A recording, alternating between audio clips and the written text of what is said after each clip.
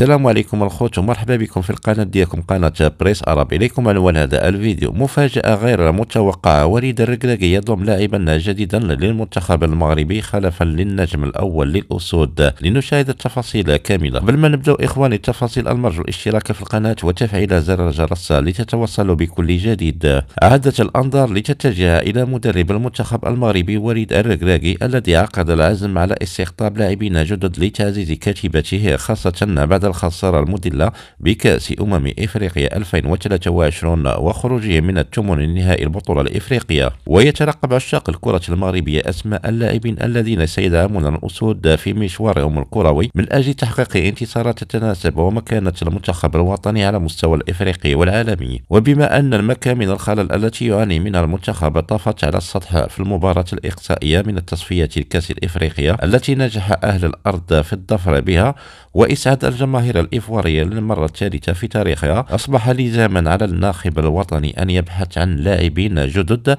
يمكنهم سد الخصاص الحاصل خاصة على مستوى الأجنحة. ولهذا الغرض وضع الركراكي صوب عينه أسماء دوليين مغاربة يرغب في التفاوض معهم لحمل قميص المنتخب الوطني والذي يوجد على رأسهم منير الحدادي نجم برشلونة سابقا الذي سيحاول المدرب منحه فرصة التواجد مع الأسود. وسيأتي ذلك في أعقاب الزيارة المرتقبة للركراكي لإسبانيا من أجل متابعة أداء بعض المحترفين المغاربة في الليغا وذلك للبحث عن أجنحة جديدة تعوض نجمي المنتخب المصابين حكيم زياش وسفيان بوفال حيث سيكون الحدادي الخيار المناسب لتعويض بوفال المصاب والذي سيغيب عن معسكر الأسود في مارس المقبل